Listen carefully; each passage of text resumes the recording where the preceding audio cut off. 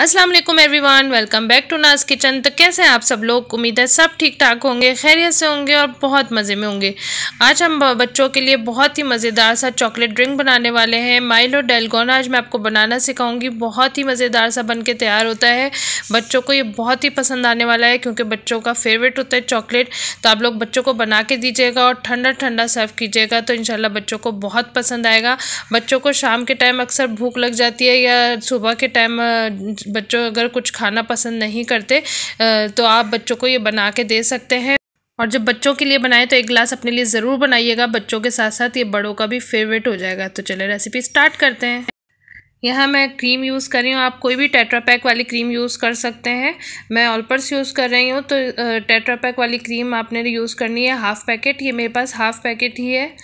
तो हाफ़ मैं यूज़ कर लिया था मैंने किसी चीज़ में। तो इसके अंदर हम थ्री टेबल स्पून ऐड करेंगे शुगर भर के।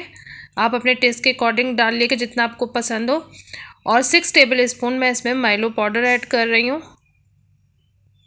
और अब इन सब चीज़ों को अच्छी तरह से आपने बीट करना है। इतना आपने बीट करना है कि ये आ, क्रीमी सा फ्लफ़ी सा हो जाए। तो आपने इसको अच्छी तरह से मिक्स करना है। और इसमें चीनी जो हमने ऐड करी है उसका दाना भी अच्छी तरह से घुल जाए। तो ये देखें, कुछ इस तरह से नज़र आएगा। तो इस तरह से क्रीमी सा इसका टेक्सचर हो जाएगा और थोड़ा लाइट कलर में हो जाएगा। तो बस अब इसको हम साइड पे रखेंगे। अब यहाँ दो ग्लास ले लिए मैंने, इसके अंदर आप बर्फ़ ऐड करें, खूब सारी इसमें बर्फ़ ऐड करें तो ये ठंडा ठंडा बहुत मज़े का लगता है गर्मियों में बना के दें बच्चों को। और इसके अंदर हम दूध ऐड करेंगे, मैं यही टेट्रा पैक वाला यूज़ कर रही हूँ, आप कोई सा भी दूध इसमें ऐड कर सकते हैं। तो आप अपने ग्लास में जितना आपने ऐड करना हो अपने हिसाब से ऐड कर लें।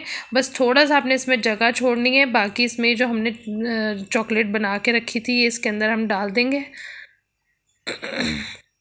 तो इस, ये मेरा जो ग्लास है, ये थोड़ा बड़े साइज़ का इसलिए मैं इसमें थ्री टेबल स्पून डाल रही हूँ। आप अपने टेस्ट के अकॉर्डिंग फोर भी डाल सकते हैं और अगर आपका ग्लास छोटा है तो आप थोड़ा कम डालें। मेरा थोड़ा बड़ा है, इसलिए मैं थोड़ा ज़्यादा डाल रही हूँ। तो थ्री टेबल स्पून इनफ है तो three to four tablespoon आप इसमें ऐड कर सकते हैं अगर आपका ग्लास बड़ा है तो। और इसके अंदर मैं डाल दूँगी इस तरीके से। और अब इसके ऊपर ये जो माइलो पाउडर है, ये हम इसके ऊपर डेकोरेशन के लिए ऐसे डाल देंगे, लेकिन ये बहुत मज़े का लगता है ऊपर से इस तरह से डालने में। और ये रेडी हो गया है, बहुत ही क्विक बन जाता है। और आपने अगर सुबह बच्चों को देना है तो ये जो हमने क्रीम के साथ मिक्स करके मिक्सचर इसका बना के रखा था, वो बना के आप रख सकते हैं। और इसको आप सुबह में बच्चों को दे सकते हैं।